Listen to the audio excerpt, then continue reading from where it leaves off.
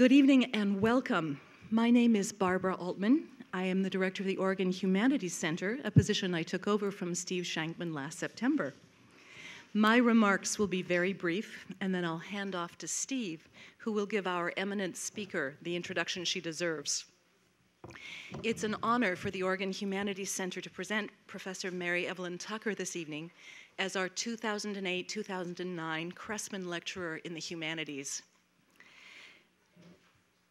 The Luther S. and Dorothy Cecilia Cressman Lectureship was established in 1994 with a generous bequest from former UO anthropologist and archaeologist Luther S. Cressman, who excavated the by now famous 10,000 year old sagebrush bark sandals from a cave in Central Oregon in 1938.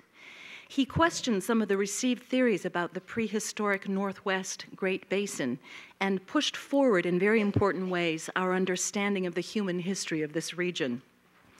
The lectureship's goal is, and I quote, the presentation and illumination of fundamental humanities issues that confront, but are too often ignored by, societies centrally occupied with science, technology, and business. Unquote. We have used this lectureship for speakers in the fields of anthropology, religion, art and art history, natural history, and cultural studies. Among the guests who have come as Cressman lecturers are N. Scott Momaday, pioneer of modern Native American literature, who also pioneered the series, and Randall Robinson, the international human rights activist. Professor Mary Evelyn Tucker will add luster to the lectureship with her talk this evening which serves as the opening keynote, as I'm sure you are all aware, for the Ethics, Religion, and the Environment Symposium sponsored by the Center for Intercultural Dialogue. Before I hand over to Steve, I want to acknowledge publicly the work done in preparing for Professor Tucker's visit by the Oregon Humanities Center staff, Associate Director Julia Hayden, as well as Melissa Gustafson, Peg Gearhart, Dylan Bragg, and Nawal Alawi. And I would like to congratulate Steve Shankman and his right hand woman, Terry Guareno, for putting together this historic and wonderful meeting of UNESCO chairs. Thank you, Steve and Terry, for bringing this event to Eugene.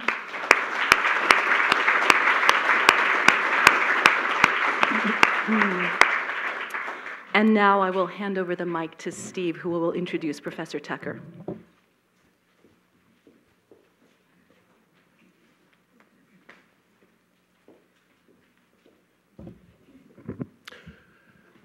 Thank you. Uh, thank you, Barbara. I want to acknowledge uh, the Humanities Center and their contribution to tonight, uh, to tonight's uh, keynote address, uh, the Cressman Lecture. We couldn't have done it without them. Thank you very much, Barbara, and also to the staff of the Humanities Center. And yes, I'd like to acknowledge Terry, who we all know is absolutely extraordinary. I also want to mention all our volunteers and Kelly Totten, who is the conference coordinator who's done absolutely extraordinary work. So thank you to, to all of you. And there are so many people to thank. I'm going to keep it very short this evening because uh, I, I, did want to mention uh, some of the uh, our major donors who have made this possible.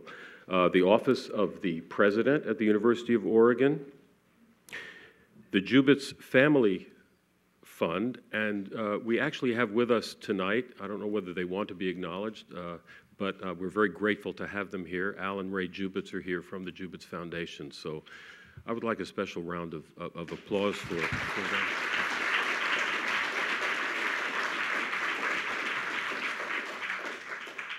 Other major uh, help came from Lorry Lokey, also UNESCO. Uh, it wasn't that easy to do the contracts. the bureaucracy was interesting, but we were very grateful. We're very grateful to them. Uh, it must have been about a year, a year and a half ago. Um, uh, I got a phone call saying, hey, there's this incredible person who's coming to Oregon State, Mary Evelyn Tucker. You should, you know, I hear about your, your conference about uh, that is going to uh, kick off the, the uh, a symposium that will initiate the first UNESCO chair in the Americas in the Intercultural Dialogue Program. Uh, have a look have a look at Mary Evelyn. So I went, I made the long, long journey to Corvallis and uh, I heard Mary Evelyn give a, give a talk, and I thought, absolutely right on. And it is absolutely fabulous to have Mary Evelyn with us uh, tonight. And we really couldn't have picked a more perfect person uh, for this conference on ethics, religion, and the environment to, to uh, give our keynote address. Mary Evelyn Tucker is a senior lecturer in religion and environment at Yale University, holding, and it always sounds so remarkable, joint appointments as a research scholar in the Divinity School and in the School of Forestry and Environmental Studies. What, what, a, what a fabulous uh, combination and uh, original uh, combination. It's great when you take interdisciplinary uh, work to that, uh, uh, to that level. Also the Department of Religious Studies uh, at, at, Yale, she's associated with. With John Grim, she co founded the Forum on Religion and Ecology, FOR. Tucker and Grim also coordinated a 10 conference series on world religions and ecology at Harvard Center for the Study of World Religions.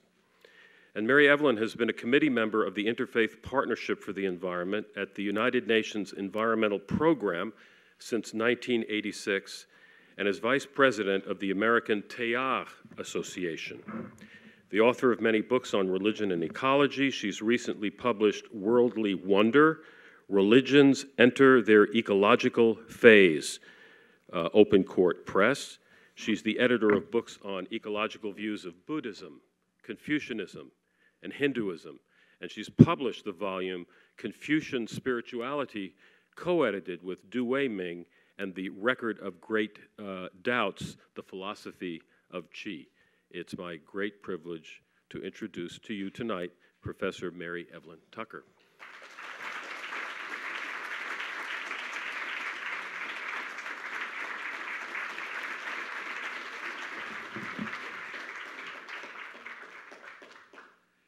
Well, thanks can't be said enough, and so I'll add to Steve's thanks, and that is thanks to him for the incredible work he's doing here, and to Terry, and to Barbara, and to Julia, and especially uh, to Julia for this wonderful tour I had this afternoon of the trees of this extraordinary campus. And uh, being just at Yale yesterday with Al Jubitz at the Forestry School, where we have a new green building, um, just like this green building. I want to say a special thanks to Al and to my colleagues at Yale for this wonderful opportunity to be as you are here in dialogue with one another. Um, because I think this is what's needed so deeply. And I am most humbly, um, and in some fear and trepidation, um, welcoming and wanting to learn and listen from the UNESCO chairs who are here.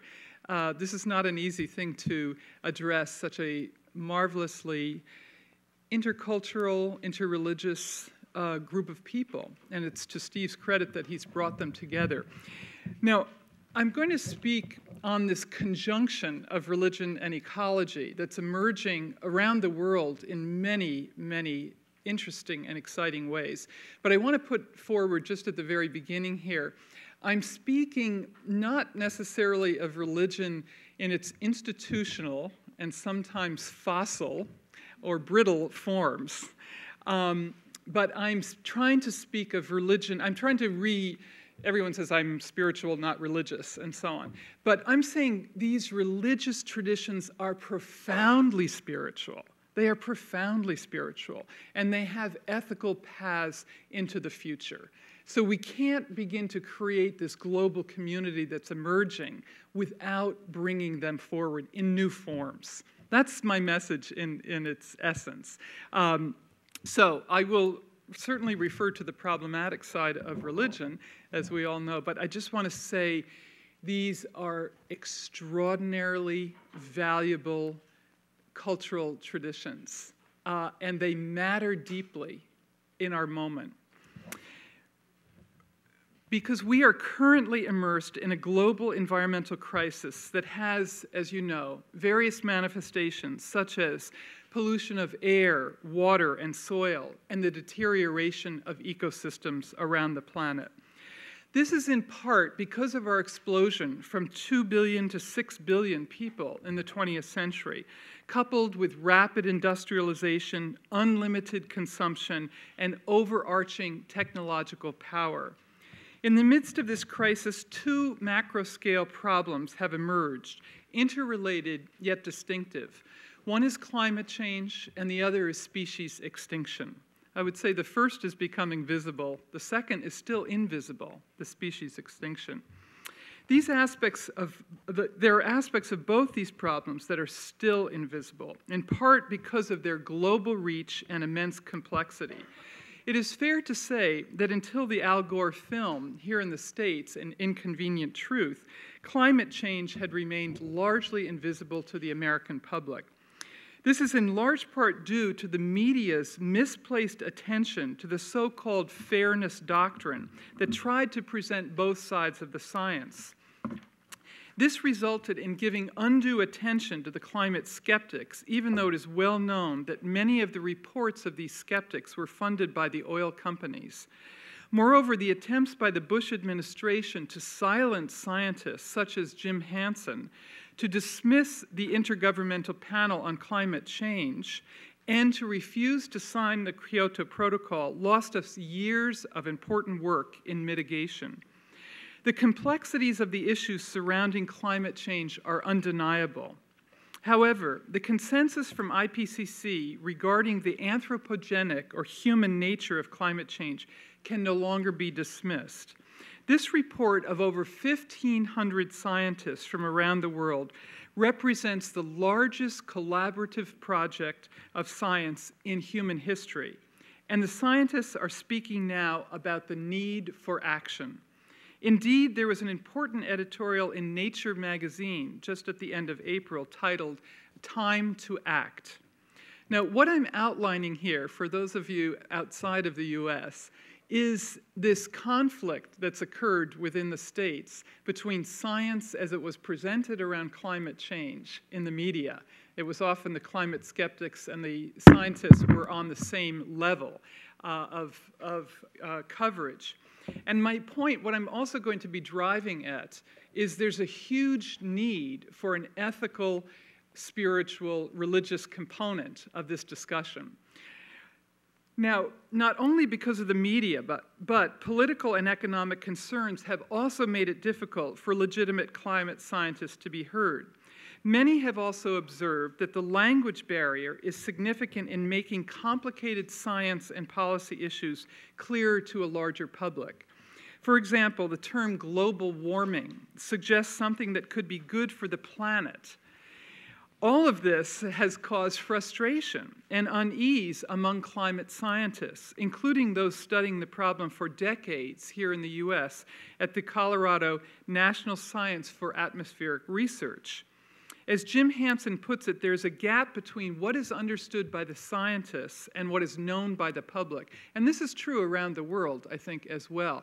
But I want to just share with you that a conference in Aspen a few years ago, the climate scientists in the US who came to this conference were so deeply frustrated, this was before the Al Gore movie, that they were in despair about why people were not listening to the climate science because they knew the whole global community was at risk. And some of them um, found this absolutely uh, to, the, to the point they were literally in therapy because the despair was so real um, for them.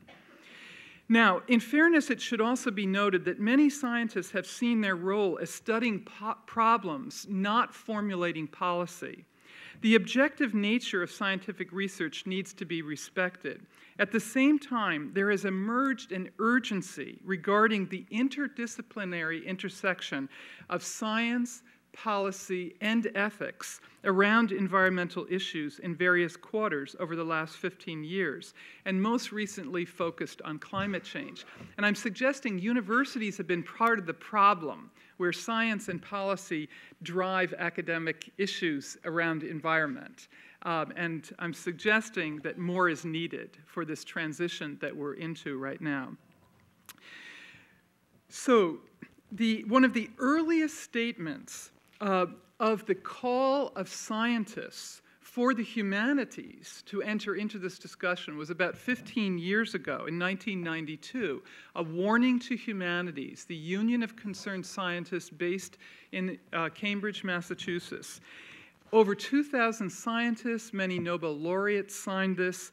Um, and it was calling for this is the quote a new ethic is required, a new attitude towards discharging our responsibility for caring for ourselves and for the earth.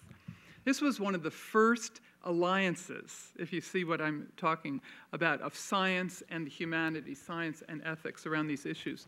Now, five years later, right up here in Seattle, Jane Lubchenco, one of your great scientists um, at, the, at Oregon State, gave her presidential address at the American Association for the Advancement of Science, where she called for science to embrace a new contract with society in response to pressing environmental issues. I was there at that talk. She got a standing ovation. As you know, she's now in the administration in Washington, head of NOAA. But it was Jane Lubchenco, one of your Oregonians, who said science cannot be simply objective. It needs to be in the service of society and the larger global community. This is a shift, and a very, very important shift. Um, just yesterday, actually, at Yale, where the new dean who's coming in said, uh, We must have knowledge for action. And students are asking for relevancy of their studies for this huge crisis that we are facing. The work of Bill Clark at Harvard, along with Bob Kates and Bob Corell, to create the field of sustainability sciences can be seen as a robust response to that challenge. Since their article in Science in 2001, there's been a growing interest in bringing the natural and social sciences together around a variety of pressing issues, including sustainable development and climate change. The IPCC report on climate change has also reflected this complex dialogue between science and social science. There's all kinds of arguments going on about what should be said, or should it just be the description, not the prescription, okay? Now, the contested nature of the role of science as objective research has been at the center of these debates, and it's ongoing at Yale, at Columbia, at the Earth Institute, and so on. So, while I'm not proposing a solution to this extremely complex and multifaceted problem, I would suggest that it is worthy of consideration in future, future discussions, and humanities centers have a very important role to play around this. It would appear that sustainability science is growing steadily in this divide between scientific description of problems and policy prescriptions for solutions. The Yale Climate Initiative, for example, indicates this in their subtitle, Integrating Science and Solutions. And we will have the new, the, as head of this new climate initiative, uh, Pachauri, who's been chairing the IPCC, will come to Yale um, to chair this. At the same time as the natural and social sciences are finding new collaborative partnerships, the humanities are beginning to contribute, excuse me, to, to contribute as well. While environmental history and literature are growing, philosophy and religious studies are joining the discussions. Within the field of philosophy, environmental ethics has a history of some four decades, beginning with the work of Baird Callicott and Holmes Rolston in the early 1970s. There has been a growth of publications by environmental ethicists, although they are searching still for a way, way to link more directly and effectively to policy discussions. In this last decade and a little bit more, a new field of religion and ecology has emerged within academia. Its rapid growth has been nothing less than remarkable, and its potential to affect change is significant because of the institutional dimensions of the world's religions.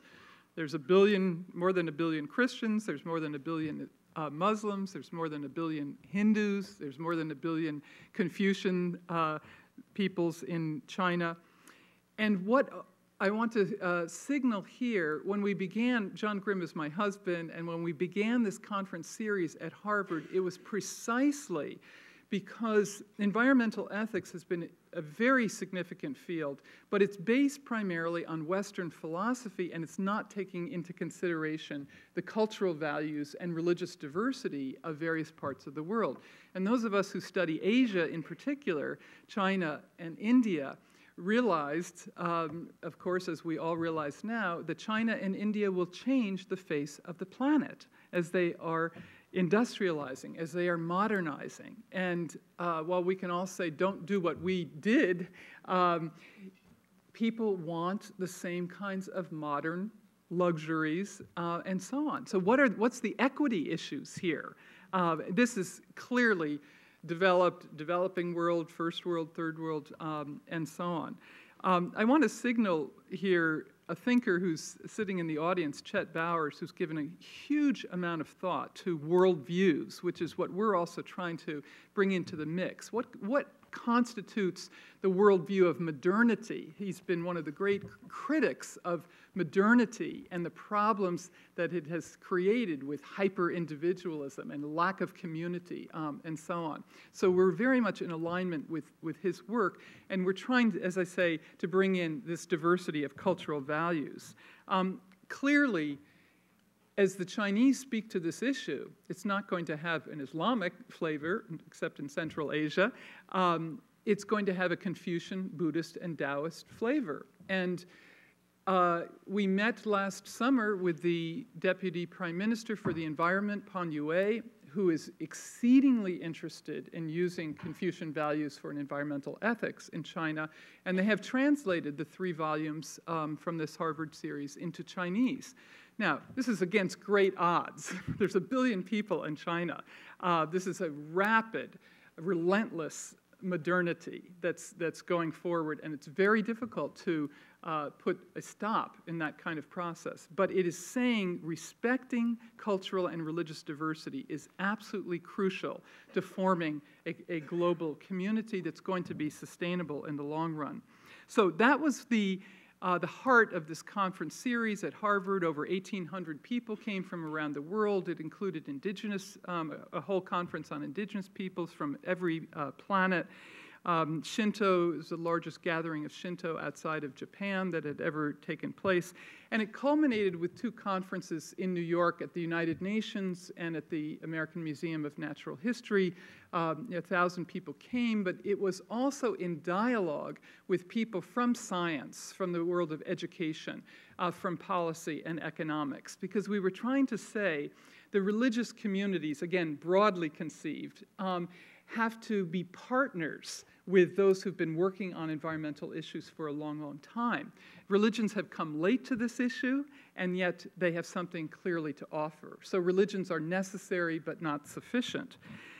Um, the, the sense then um, of what we were trying to do in this three year uh, conference series, and now based at Yale, this forum that Steve mentioned, was what many of you are probably trying to do in your own countries as you look at, at modernity and its cost, and you look at tradition and uh, its problematic side too. So, what we were trying to say is how can we retrieve aspects of these traditions?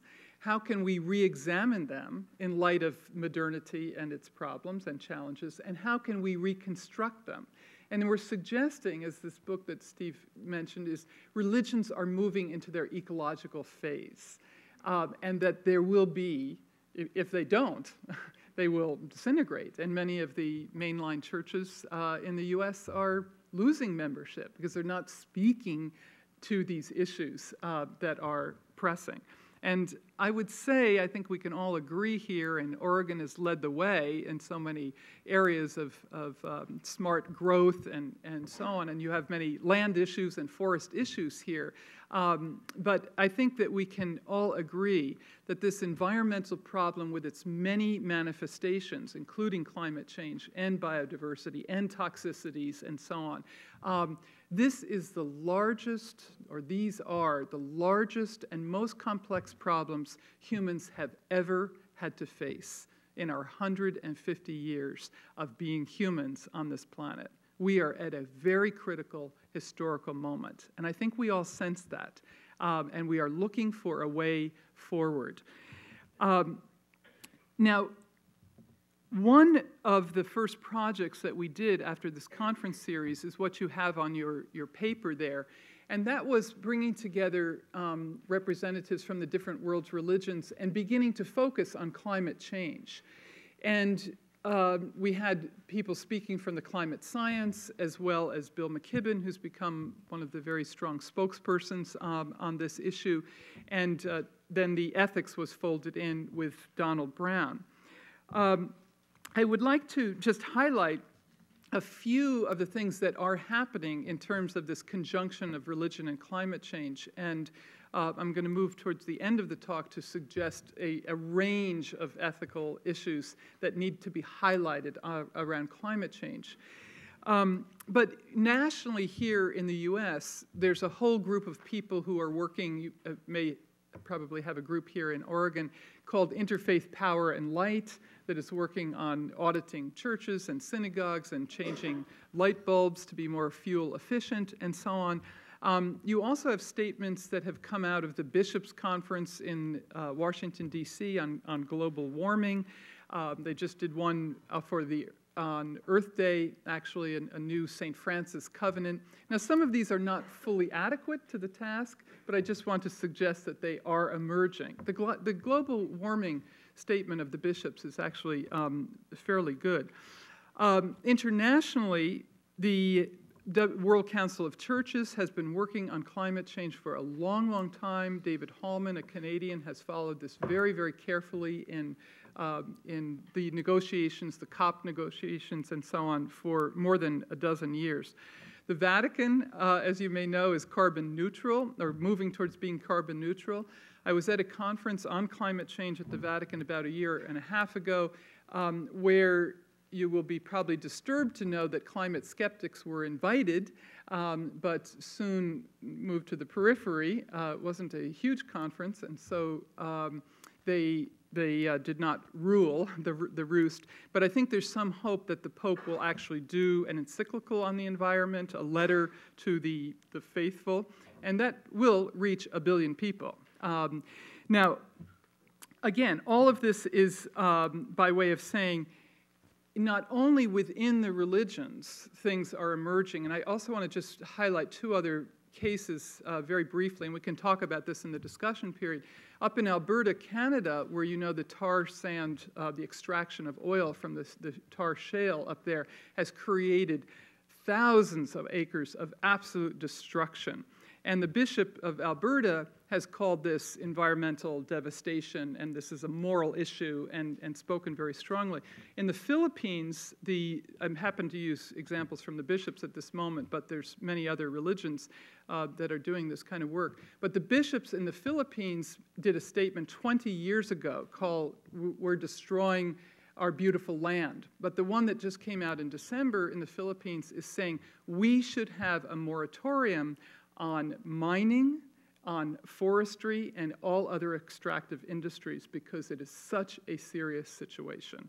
And again, I think many of you coming from various parts of the world know what the cost of, of this is.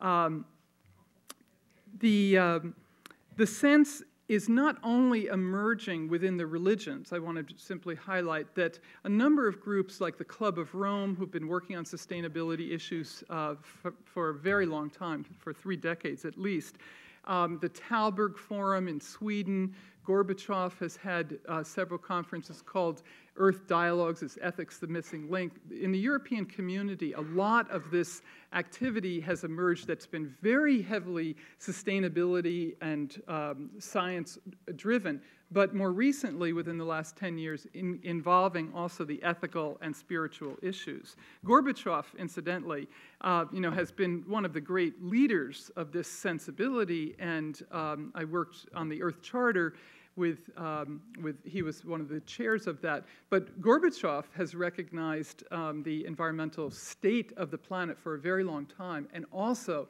that this is a profoundly spiritual issue. Um, let me then recapitulate a few points. Um, and before I do that, I want to just come back also to Asia. Um, as I mentioned, China is very interested in exploring uh, their own traditions, but we also met in Korea last, um, last spring, and the, their academy is very keen to do a whole uh, PhD in Confucianism and ecology. They've spoken to the Minister of the Environment and the Minister of Education in Korea to do a K through 12 program on how Confucianism and ecology uh, could be part of the curriculum and we were in Taiwan in January, where this interest is also uh, emerging. Again, I'm not saying this is, you know, instant, it's not going to happen overnight, and so on, but cultural values matter, for sure. And um, so I'm just signaling some, some of the changes. The Greek Orthodox Patriarch um, has been one of the very key leaders of this uh, issue. He's based in, in Istanbul, but he has done water symposium all throughout Europe and also in the Amazon, in Greenland. And you'll be very happy to know we've, we've been on a number of these, but he's coming to the, to the States in October to do one on the Mississippi River as well to highlight the problems that are right, right here he was waiting for a certain shift in the uh, government um, to come back. so, um, okay, now let me recapitulate then a few points here uh, about religion and ecology, and then I'll go into this final part on ethics and uh, climate change. So, what I'm suggesting is that religion and ecology is a newly emerging field around the world uh, but it's not more than really a dozen years old. Environmental ethics, on the other hand, comes out of Western philosophy and is about 40 years old, and again, around the world. The historians of religion and theologians have a great deal of work still to be done, but they need to be doing it in dialogue with scientists, economists, and policymakers. Now, secondly, Religious and ethical perspectives have only recently been invited into the area of sustainability sciences and sustainability forums, which are arenas within academia and beyond. And they are trying to uh, learn this language of a synergy between these various disciplines. Thirdly, academia tends to frown on research or teaching that is advocacy oriented. Yet many academics aspire to be relevant to, to today's world, and clearly our students do. This is one of the most inspiring things about being at Yale School of Forestry and Environmental Studies, and that is these are students, like some of you here tonight, who have grown up with more knowledge of the environmental problems than any of us in our generation, and you still want to make a difference. That is what's so inspiring about these students at Yale and elsewhere um, who are so smart, could do a whole range of things, um, but they want to get in there and make their contribution. And they are from around the world, uh, which is also very exciting. Um, now, this, this is a fine line to negotiate. Again, as Chet, I think, has indicated, you know, what, what does it mean to, be, uh, to have an advocacy type of position in academia is not simple. Um, but I think we need to negotiate this so that academics do not become just within the ivory tower. Now, fourth, while academia is somewhat, somewhat comfortable with environmental ethics arising out of Western philosophy, it is perplexed by or adverse to the study of religion in universities, often confusing it with theology. Theology is basically the study of Christian belief within a confessional mode and done in seminaries. But the study of religion is a academic discipline. Uh, I'm a historian of religion. There are anthropologists of religion, sociologists of religion, and so on. Um, let me make two further points here. The history of religions, as I've just said, is not theology. It is the study of the unfolding of various religious traditions, including changes and continuities over time. It is more indebted to history and the social sciences than theology. The history of religions identifies ethics within the context of world religions and cultures, not simply within a Western philosophical framework. Let me observe that Christian ethics has focused primarily on social ethics and not environmental ethics until very recently. Um, and indeed, one of the ob- curious obstacles is that from the Jewish and Christian and Islamic tradition, the notion of justice is, has been so strong, but largely within the human framework. And so when I first came to another university where I was teaching, a very strong University of Chicago uh, social ethicist said, oh, environment, that's whitewater rafting. You know, it's totally irrelevant to a justice and ethical perspective. So we have a lot to overcome in bringing together the human nature dialectic. And that is at the heart of everything I'm speaking about tonight. That this is about more than changing light bulbs. It's about more than techno technological fixes or energy audits, even. It is about a vast and complex and still little understood change in human nature relations. We are redefining ourselves as planetary citizens, and it's going to change everything. And you know what? We don't have the language to do it yet. We're in process. We are discovering it.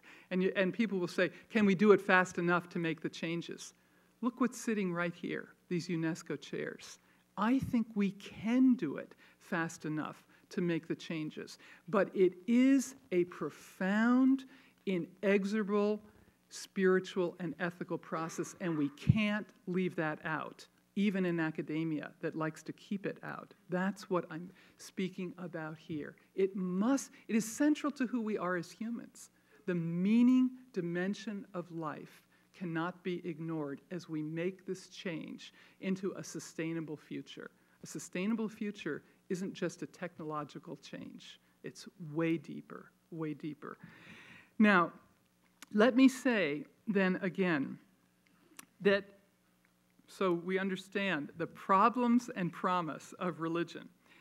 Religions can be rigid and dogmatic. They can also be flexible and changing. And that's what I'm trying to illustrate in studying these traditions that are multi millennia old traditions. They have changed and they will change over time, often with contestation. Secondly, religions, the problem side is they have exclusive claims to truth, they can be dogmatic, but they can have genuine moral authority. The civil rights movement was deeply inspired, both in its origins in the, the Quaker abolitionist movement in England. This was a moral issue, slavery was a moral problem. The civil rights movement in the 60s was driven um, by a moral sensibility, and that made the change possible. Thirdly, otherworldly concerns have been important in world religions, but also valuing this, this world. An incarnational sensibility of Christianity is profoundly this world oriented. Matter matters. The Confucian sensibility as well, East Asia is very much this worldly oriented. Um, Fourth, hierarchy. There's lots of hierarchy, and we can say things about women's issues and so on in all of the, the world's religions, for sure. But the world's religions also stand for equity, justice, and fairness, and it's bringing that forward into this new dynamic sensibility on the problematic side, we can say they're interested in present sectarian concerns, which we see throughout our society today. Absolutely fascinated on how are we going to keep these fossils going, right? And the culture wars and so on. But they're also concerned about future generations, and that to me is the key. And I mean future generations of all species, not only the human. What is it to maintain the beauty of the forests of the Pacific Northwest, as Gary Snyder said, for the next millennium? For the next millennium. What does that mean? When I was up in the Pacific Northwest and the Corvallis visit, I talked to the those who were studying the spotted owl, the scientists up there in, in the forests. It was so moving because they do not know whether those owls will actually survive uh, the patchwork of the forests. That, and that's true around the world. This deep sensibility that we have of loss in this moment, and yet a possibility for change, is part of this religious spiritual dynamic because we're trying to foster hope against all odds. And that is what a spiritual and ethical sensibility can do for future generations. And finally, religions, as I've said, have a concentration on human rights, but also is emerging a sense of rights of nature, rights of creation itself. And if we put all of these problems and promise into just two, I would suggest that the world's religions, yes, they have been anthropocentric, often human oriented, but they also have within their traditions an immense possibility to be anthropocosmic. anthropocosmic. And I would suggest Eastern Christianity, in its Russian Orthodox and its Greek Orthodox form, has that sense of the microcosm of the human, the macrocosm of the universe, and that we are pulsating live beings within a living and sacred universe. This is very much part of the world's religions. So, that anthropocosmic sensibility, we are not simply economic animals. And certainly, our present financial meltdown is showing that. We are not just consumers, clearly, and consumption has led to dis-ease, huge dis-ease in our own society. So finally then, let me turn to the ethical challenges of climate change to suggest in what ways the world's religions might become effective partners regarding the ethical implications of this all encompassing challenge. All encompassing challenge. And by the way, I do think this sense of challenge and intergenerational handshake is what we need to give those in our schools, our universities, or not in our schools and universities, but we need to give that challenge to the next generation. We are here with you. We are here for you. We invite you into this transition. And I think that's why the politics of this, this last year has said this next generation wants to be involved. They want to make a difference, clearly. Um, my primary point then is this partnership needs to be about long term thinking, namely for longer range interests in the stock market or quarterly financial reports. The long term means highlighting the common good of the Earth community people, species, land, water, air, and future generations. It means fundamentally holding up a deep sense of wonder, awe, and beauty. Wonder, awe, and beauty at the immense complexity in which we dwell and have our being and have our hopes and dream. This is a dreaming blue green planet, and we are the reflexive people on this dreaming blue green planet. And that's the partnership, too, with science scientists are much inspired by this immense complexity and intricacy from the cell, the atom, to the stars and the galaxies. These layered, nested elements of complexity, which we are only beginning to understand. And I would suggest this partnership of religion, science, and ethics, especially can be, not yet, but it will be, around this sensibility that we are part of a universe story that is 13.7 billion years old of cosmic evolution, 4.5 billion years old of Earth evolution, that we, as latecomers to this amazing process, this truly sacred universe, we are only 150,000 years of Homo sapiens sapiens. And the big challenge is how we will earn the sapiens part of that title, how we will earn it, how we become life enhancing beings on a life giving planet. This is a life giving planet. We want to be life enhancing beings working with these processes. Okay, here's the, the conclusion. For the essential ethical question is what does the flourishing of the earth community require? What does it require? That's our ethical question. Here are a few suggestions. it requires a deep understanding of the intrinsic value of nature. It's not utilitarian, it's not just for our own use. The intrinsic value of nature. You live in one of the most beautiful parts of the planet. You know this in your souls. That's why you live here.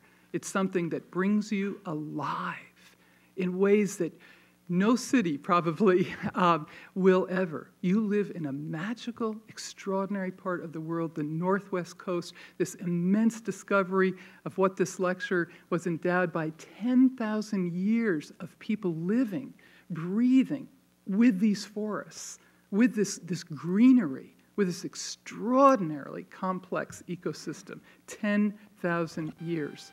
In 100 years, we have changed it greatly all across the planet. So, this sense then of preserving the flourishing of nature is of immense importance for the continuity of life itself. For the continuity of life itself. We need to be reminded of this complexity, of the cycles of air and water and soil. The biodiversity that lives amidst these systems are of inestimable worth. It's not a financial value that you can put onto this diversity. Um, so, this sensibility then, could we be the cause of the destruction of creation that has taken so long to evolve? That's the question we are facing. Could we be the cause of destruction of creation that has taken so long to evolve? So, intrinsic value of nature. Secondly, environmental degradation is an ethical issue, it's a moral issue. It is absolutely a moral issue. To reverse the role of humans in destroying the atmosphere and thereby adversely affecting all ecosystems and causing biodiversity loss so that we are in a sixth extinction period. A sixth extinction period, which means we are changing it on the level of a geological era. We are ending the Cenozoic era because of our presence on the planet and the loss of biodiversity. Um, thirdly, environmental rights for present and future generations. It will be absolutely necessary to expand the notion of human rights to include environmental rights to a healthy atmosphere and biosphere for future generations. To do this, we need to consider the rights to information, public participation, and justice regarding environmental issues. And this has been set forth in the Aarhus uh, Convention in 1994. Fourth, distributive justice. We will need to consider our moral responsibility to the poor and to those most vulnerable to the effects of climate change the millions of impoverished on the coastal areas of Bangladesh and other parts of the world, millions and millions of people, the hundreds of thousands of African Americans in New Orleans after Hurricane Katrina. I'm driving to the airport this morning to Kennedy and talking to uh, a friend who is driving me. We have been able in New York to rebuild every stadium in the last couple years Mets, Yankees, and Jets we've not been able to rebuild uh, New Orleans. Incredible. Yankee Stadium alone is over a billion dollars. There are tickets behind home plate that are $1,200 a shot. Yes, exactly. And it's showing up on the TV. distributive justice. Distributive justice. Even the elderly in Europe 50,000 people died from the heat wave in 2004 in Europe, 15,000 in Paris, uh, in, in Paris alone. The group of small island nations are already suing the developed world, and the US in particular, in the UN. The Tuvalu citizens are being relocated to New Zealand in, from the Pacific Island. Fifth, the precautionary principle. It's very hard for Americans to take in any notion of a precautionary principle, even though Barry Commoner told us years ago stop it at the source and you won't have a problem um, at the other end. But we need to invoke this sensibility, even as we will be arguing about cap and trade or carbon tax and so on and so forth, these various economic uh, possibilities. But the deeper sensibility is how are we going to cut back at the source? Jim Hansen, the NASA scientists, are saying we must do away with, uh, with coal burning plants. Six, unintended consequences. This is part of long range thinking, which religious communities have done and can do. Unintended consequences of our action. Um, for example, I'll just say, for example, biofuel, and the food crisis. We created a crisis around the world, thinking we're going to solve this is where technological fixes have unbelievable unintended consequences. And again, Chet has pointed out how technology has changed the human uh, from deeper processes of who we are as humans. Now, seventh, renewable energy. This is something we need hardly say anything about, but renewable energy is actually a moral issue in so many ways. I would suggest it's not only searching for physical energy, such as sun and water and biomass, but in fact, renewable energy is a renewable energy of the human spirit that is deeply on the edge of uncertainty and despair and lack of clarity about our purpose, our role, and our future. And humans are the one species on the planet who have the ability to imagine a future. The, that's what distinguishes us from other animals. We are animals who can dream a future. And that is the challenge here in both renewable energies of our spirit and physical energies in the world itself. Eighth, technology transfer is an absolute moral issue. The obligation to transfer appropriate technology to the developed world to assist climate change and mitigation. Um, how can we develop the economic means and political will to transfer this knowledge, as we have promised in treaty after treaty, treaty but not fulfilled? Ninth, consumption and affluence. There's a huge way the religions can make a contribution having more or being more. Um, we need to examine clearly how 4% of the world's population uh, can use 25% of the world's resources, as we do here in the US. Even Pachauri, the head of the IPCC report, says simple things like eating less meat I've been vegetarian for 30 years. I'm sure many of you had, way before climate change. It happened because I was in, living in Japan in the early 70s and there was no meat. So I'm not saying this is a big moral issue for me, but most people around the world, you know, have not consumed this kind of meat and the destruction of forests and so on that this involves. Um, there's something called water transparency now for one piece of meat how much water goes into the feeding of the cattle and the, and the land and, and so on. Um, so we can say a lot about consumption, carbon footprint, ecological footprint, how we build uh, in, in, different ways, and our agricultural processes, all of that. Finally, population growth. I began by saying in one century, we, we went from 2 billion to 6 billion people and growing. Clearly, we've got to sort out the possibilities of, of a sustainable future in terms of population. A great deal of this, not expected in UN uh, conferences and so on, was education of women. Changed the picture radically, absolutely radically. Um, so, what, is, what are the limits to this kind of growth? Um, and what does it mean for one person in the first world here in America and one person in India or elsewhere in terms of equity and justice? Now, let me end um, and I hope I haven't given you too much, but enough to feed on. But let me end with what I think is one of the most promising dimensions of this ethical flourishing, this discussion that's coming forward on all these issues and doesn't exhaust them all. And that is the Earth Charter that I mentioned a little bit earlier. And Gorbachev was one of the leaders of that, along with Maurice Strong um, up in Canada, a business person. It came out of the Earth Summit in 1992, the Rio Summit. It took almost 10 years to actually uh, work out all the language of it. And I happened to be for three years on the International Drafting Committee. It was an amazing process, truly amazing. And what I like to say to my students is there are many people around the world, including lawyers, people from women's group, educators, business people, and so on, who came to these meetings, 25 of us around a table, only two, about three or four where English was their first language. They came flying through the night. They came at the, like you, from various countries trying to make this difference. This sense of giving forward and ethical spiritual vision. Let me just very, very briefly say why I think it's such an important document. The preamble contains, as no other international document does, this cosmological evolutionary sensibility. It says we are part of a vast evolving universe.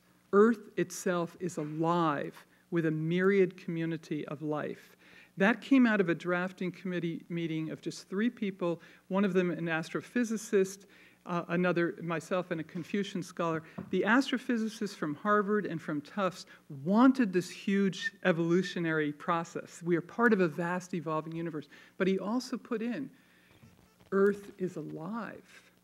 And the native peoples who were part of this drafting committee, and when Gorbachev held it up in Rio in 1997, the native peoples who had been involved in that drafting and saw uh, over three years that it was still there, their worldview, they were weeping with joy for that sensibility. A scientific and indigenous worldview coming together. Um, the three parts of the intersection of the Charter are ecological integrity. If the ecosystems go down, everything else is at risk. We need to preserve ecosystems. Restoration is going to be a huge work that's already emerging. Um, a very exciting notion how we're going to restore streams, wetlands, ocean areas, and so on. This is the great work that is calling our generation, restoring Earth's ecosystems.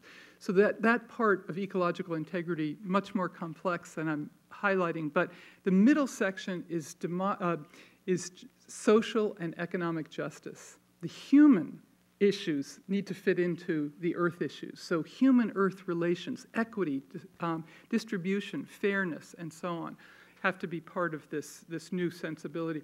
And finally, democracy, nonviolence, and peace. We need democratic institutions. We need this profound culture of peace. We need those who have been working on Beyond War for a long, long time. These issues, these ideals of a culture of peace to drive forward a sustainable future. Because without a culture of peace, a sustainable future is impossible.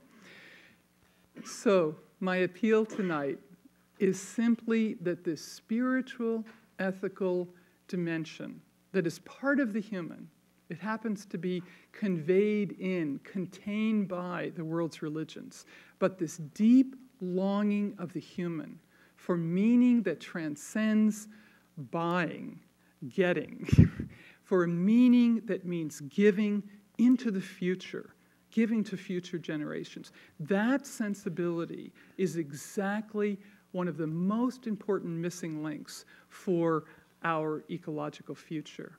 I think we can do it, don't you? Thank you very, very much.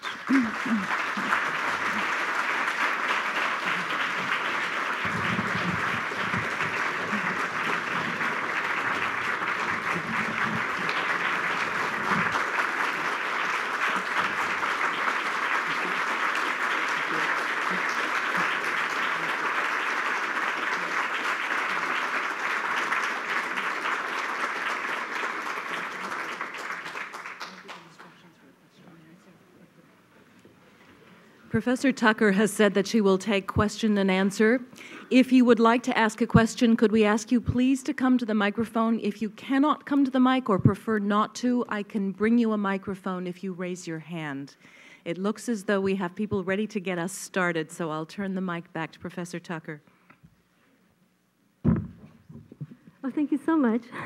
And I'm mostly at home listening to the radio as I do housework, and um, just just so excited to um, hear your perspective. And you said that we're at the end of the Cenozoic? Yeah.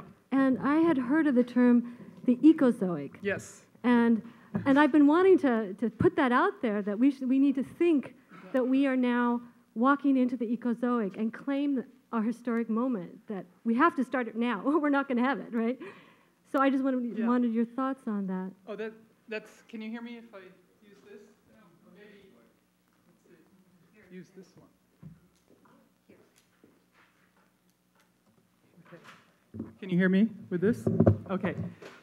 So um, actually, my teacher and the person who married us, Thomas Berry, is the one who came up with the idea of the Ecozoic era. And he did, he's done a series of books, but one called Dream of the Earth, which uh, Sierra Club published, 75,000 copies have been published. And so he has said we are ending this particular geological era, defined by biodiversity loss and so on. But there's also a climate scientist, Paul Crutzen, who speaks about the Anthropocene era. uh, which he dates from sort of the Industrial Revolution, 1784, the, um, the, the, the, sense of the, the engine of uh, industrialization. So we are definitely ending an era. Our presence is huge, but I, I love your point, and this is very much Thomas Berry's point. And when I was referring to the great work of our time, that's also what Thomas Berry is speaking about. And he's saying the Ecozoic era that is emerging is these, these new ecological economics, new green building, new organic, new and old organic agriculture, and so on. That is definitely what defines the Ecozoic era. So thank you. Great, thank you. I appreciate the list of items that you suggested uh, religion could work with on ecology, but one of the major tools that we have to work on those things with is our money system. That is our way of communicating internationally through language barriers and whatnot. And right now, our language, our money system is in essence bankrupt. Mm-hmm. And so we don't have a gold standard anymore. Uh, but what we do need ecologically is a pH standard for our oceans. We need a carbon standard. And what we have with our present money system is essentially what has been borrowed or taken from the carrying capacity of the planet. I believe what we have to do is somehow address through religion, because I think that's our best tool, or our best means of addressing this tool, but we have to redefine the hammer. We have to make our money mean something that actually, when we go and trade at the store, it means something that is honest. Whereas right now, it isn't. It just plain isn't. Yeah, that's such a great point, and um, I really have to add it more self-consciously. I think you're you're absolutely right into this talk. Um, the, you know, I think I'm not one to comment on this meltdown. Many people have, but I think we all understand it as a redefinition along these lines of what we really value. You see, which is why I'm beginning here with the intrinsic value of nature, is is very much in alignment with what you've just said um, and that we're not economic animals uh, exclusively by any means. I think what's exciting is that we have um, a number of people who've thought through ecological economics, including David Korten up here in the Pacific Northwest, uh, Richard Norgaard down at Berkeley, and so on. Um, there's an ecological, you know, economic society, David, um, Bob Costanza, and so on. Um, so I think we have some of the tools to do this, to make the transition. And I think these ideas are clearly moving into center practice in, in certain ways, um, and that a re-evaluating, we can't have an economy without the Earth's economy. That's the bottom line. Um, and we, that's, we are derivative of Earth in every kind of way. There's not going to be any dividends unless uh, we have healthy ecosystems. So anyway, we could speak a lot about this, but thank you for your point. It's absolutely, I think, on target and uh, needed. Uh, when I was going through high school and making decisions about what I wanted to do in life, I was very interested in, in a very diverse family farm and um, and in, in the, enjoying wildlife. And by the time I got through college in the mid 50s, it was really clear to me that agribusiness had totally destroyed the American way of life that, that I was being raised to, to participate in. That, um, that letting a um, absentee landlord own hundreds of thousands of acres um, and dump chemistry into it uh, and take, you know, strange uh, methods of uh, pumping water and stuff. Uh, it just um, it, it, it, lost the whole ethics and purpose uh, that I, I thought was important in life. Yeah. Well, again, I think many, many people in this room would agree deeply um, that agribusiness um, has been a huge downfall. And my husband is from North Dakota and had a family farm, and, and so we understand this, uh, what happened, you know, 15 years ago, 20 years ago with the destruction of the family farm. Um, but, you know, also the, the CSA, Community Supported Agriculture, is the fastest growing, you know, part of agriculture right now. And clearly, I think the whole food crisis, uh, whether it's food from China or the worry about unsafe food, even here in our own country, is, I think, going to be a driver.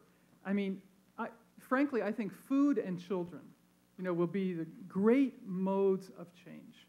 We have to eat every day.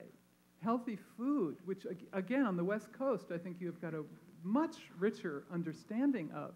And um, all of the religions, too, worked within these cycles of agricultural cycles and so on. You know, Thanksgiving, death, rebirth, etc. This is why they're not, they feed us physically, but also spiritually. So, you know, thank you for your point, and um, it's at the heart of everything, absolutely everything, food, I think, and, and the land. I think you stood up first, but. Oh, okay, I didn't see you over there, so. Hi, um, I was just wondering if you had any views on maybe how we could get some of the churches to open up to new ecological ideas because there, as I'm sure you know, are a lot of closed minded churches that probably aren't going to be open to a lot of new ideas. But are, do you have any views on that? I don't know any churches that are not open minded. Well, I no, I'm just like... kidding. I'm just kidding. yeah, no, it's a great question. And, um, oh, yes, the question was how are we going to get churches to open up uh, to this more? This sensibility.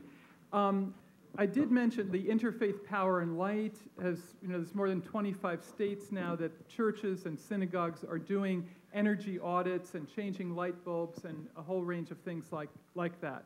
Um, on our, we've, we've done a film actually called Renewal, which is eight case studies across the country of religious grassroots environmentalism. And we brought these people, many of whom absolutely heroic, you know, non-visible, citizen-based work. We brought them to Yale last spring. We brought the scholars together. We had 350 people up at the Divinity School. It was this knowledge action synergy. It was absolutely fantastic.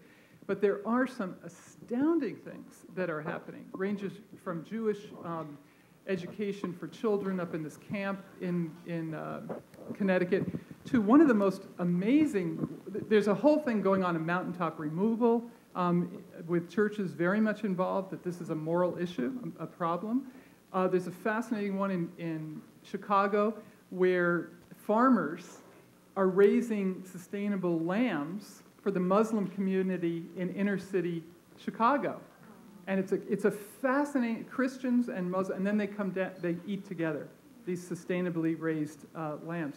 Some amazing things um, are happening. So little by little, but I think it's the next generation who's got to press these. And by the way, up on our website at Yale, and if you want to be part of the email list that comes out, every month we send out UNEP um, articles from all over the world about what's happening in religion and ecology.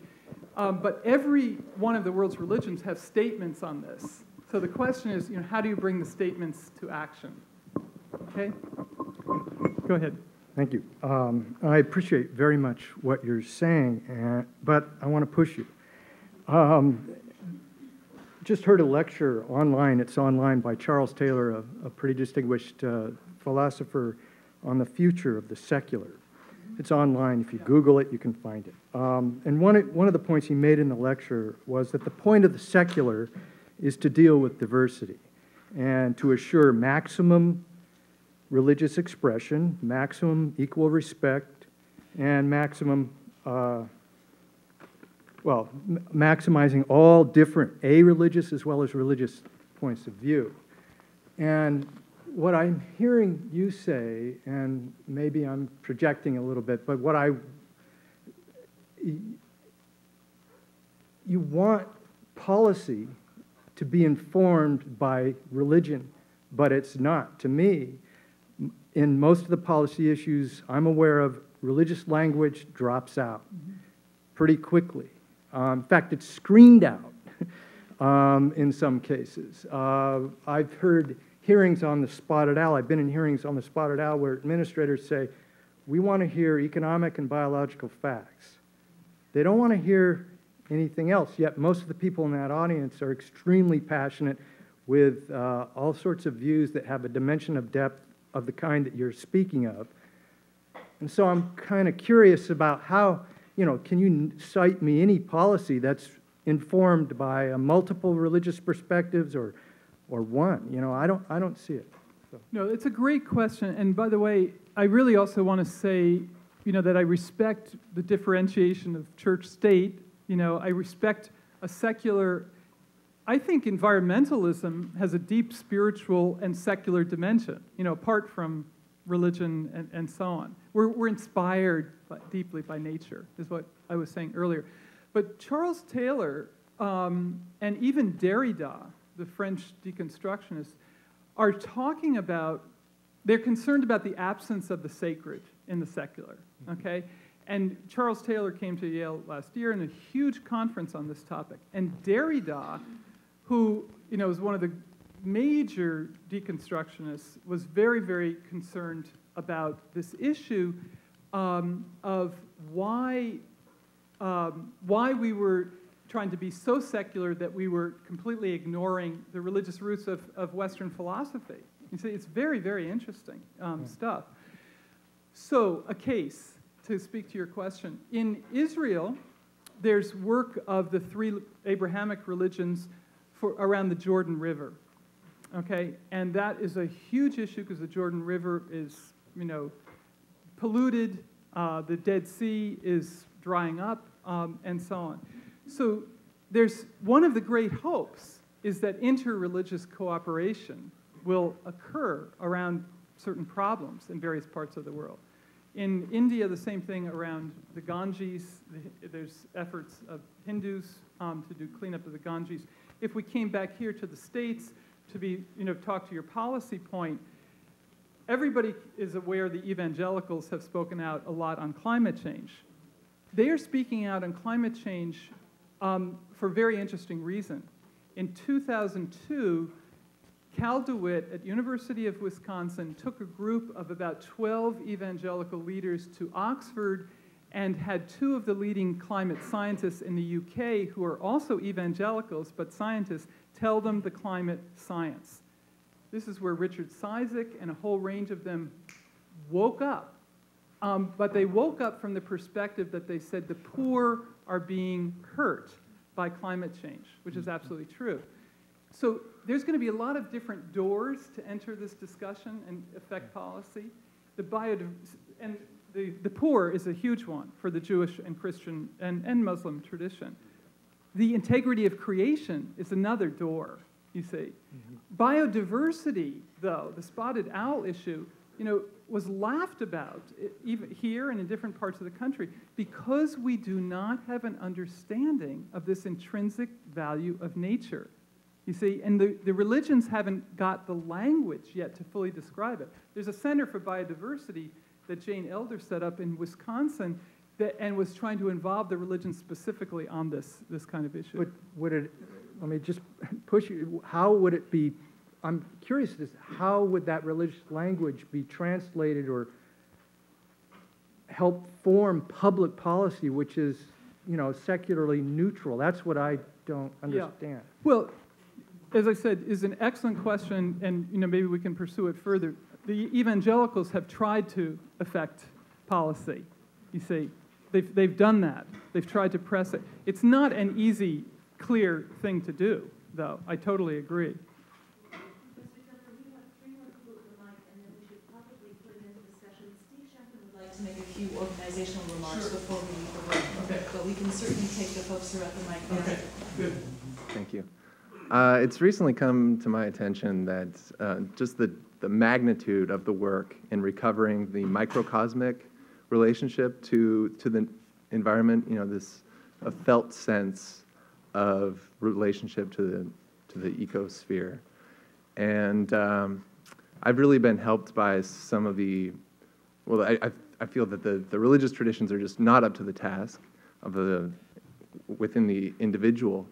But I was really helped by some of the, the storytelling traditions and the poetry traditions uh, and ecological, you know, just nature experience, and uh, and helping and doing the meaning making with other people in the environment is such an important way to get a foothold to reconstruct a, a more um, what did you call it? anthro anthrop anthrocosmic or uh, Michael Meade calls it the mesocosm in, in the middle. Um, so I, just give you an opportunity to speak to, to those kinds of traditions, uh, especially in the Western world where they seem to be very disintegrated. Thank you so much. Um, I am deeply interested in the poetic nature writing tradition and Orion Magazine. I've been involved with them, and um, Kathleen Dean Moore up here at Corvallis at uh, Oregon State has been. There, there's so many fantastic nature writers. We have a renaissance of nature writers and storytellers who are very much in line with what you've just said. So I would just say, for the sake of time, yes, yes, yes. I, I love it. I love it. Yeah, thank you. Okay. My name is Jawara. I am from Guinea, West Africa.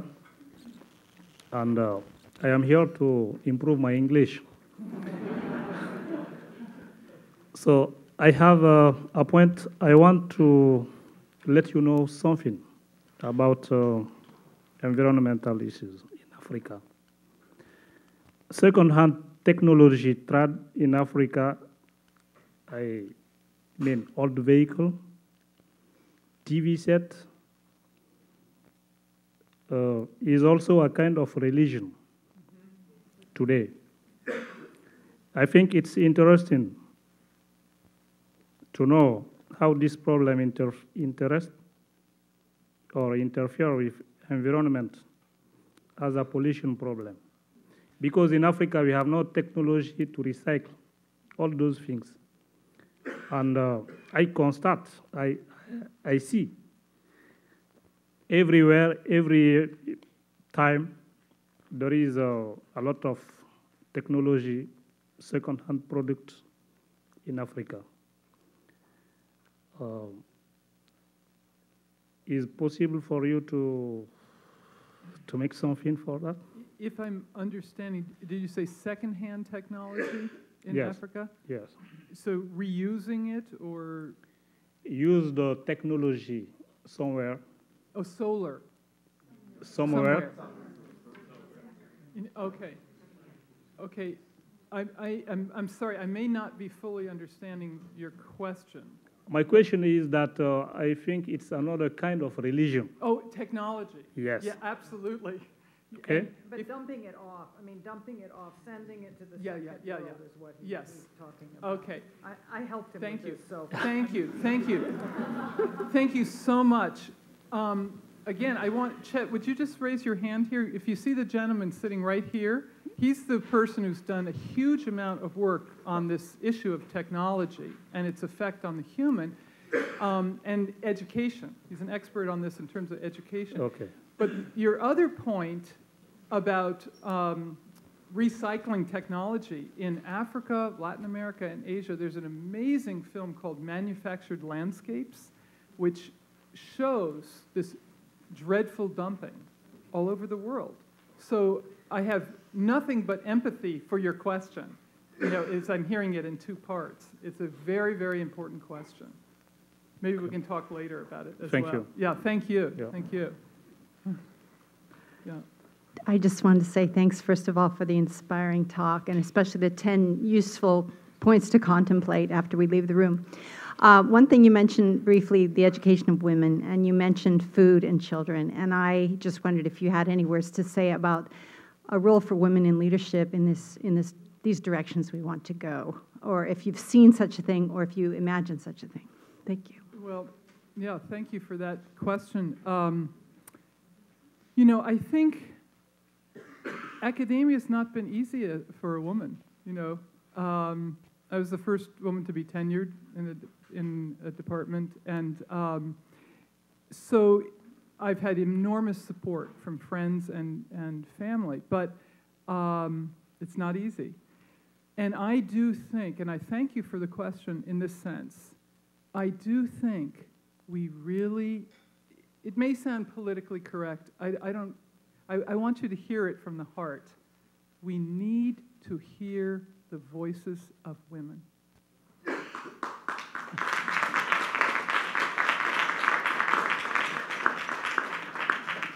This is more than political correctness, and it comes back to the gentleman's question about poetry.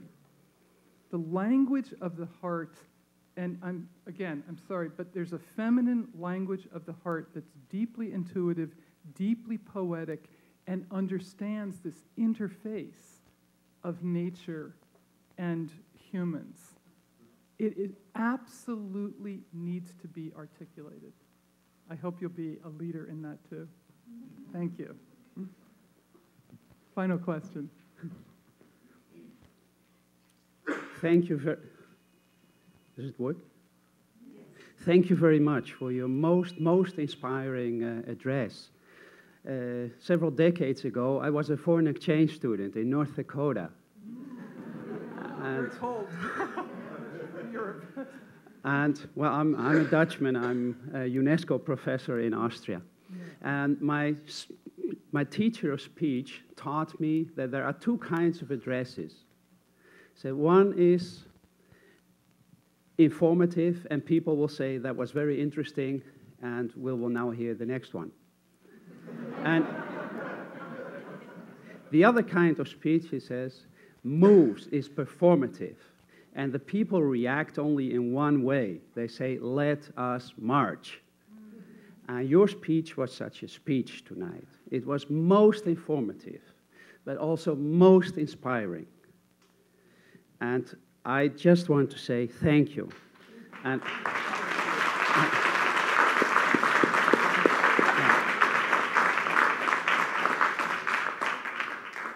And I want to address one detail and challenge one point, but also reinforce you. And that is what you said about theology. Theology is a highly academic discipline in Northwestern Europe. It's, it's, one, it's an important faculty within the academia. You distinguish tonight between theology, which is a thing for the seminaries, and the study of religions, which, which is the academia. We theologians, we belong too to the academia. And so much what you have said tonight and what you said about religions is also at the heart of theology. Eco theology belongs to theology. We've been fighting for that for decades. Uh, so please accept us as an ally. We are, we are at your side.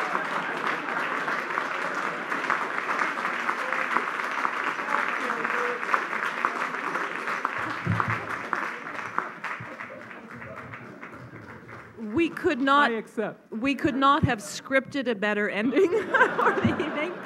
But before we do one more round of applause for Professor Tucker, Steve has a few things to. Do.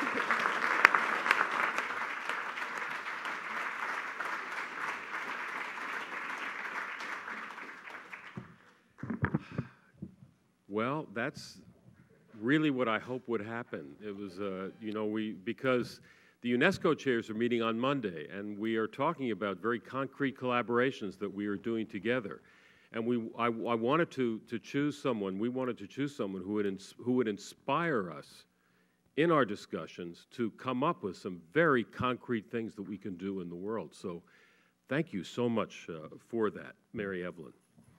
And I want to thank all of you for coming uh, this evening. I just want to say, uh, yes, yes. Available? Yes, it is recorded and it will be available. It should be up on the UO channel as fast as we can get it up there. So if you search the UO website or UO channel, within a reasonable length of time, it'll be up and available. So I just want to uh, uh, let people know here that this is this was a keynote. This is the beginning of a conference on uh, ethics, religion, and the environment. And I just want to welcome you to the other events because we're getting started uh, tomorrow.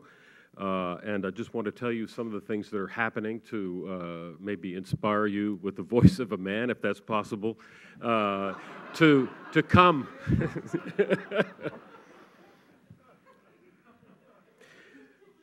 yeah. I try very hard. Uh, I have no choice, actually, and, and I'm happy for that. I'm happy for that. So, uh, in the, at 1 o'clock tomorrow, we're going to begin with uh, the Dean of the Honors College, David Frank, who is going to give us a very, very interesting and very timely and important talk on the founding of UNESCO. Uh, and uh, I think that will be very interesting. And again, his talk is at 1 p.m. in the Ford Lecture Hall of the Jordan Schnitzer Museum of Art. We're also going to hear from Stein Villumstad, the Deputy, Deputy Secretary General of Religions for Peace.